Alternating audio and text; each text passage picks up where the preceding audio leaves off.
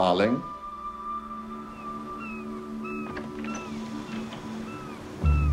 Claus, now I do want to hear your side of the story. With pleasure. Innocence has always been my position.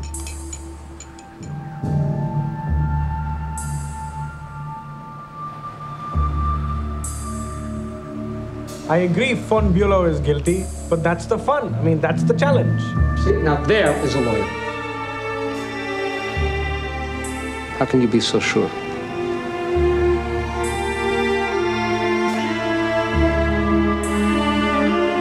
You do have one thing in your favor. Everybody hates you. Well, that's a start. This is life and death. Your wife is laying in a coma. You, you don't even make a pretense at caring, do you? Of course I care, Alan. It's just I don't wear my heart on my sleeve.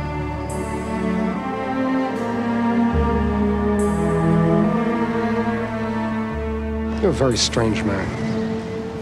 You have no idea.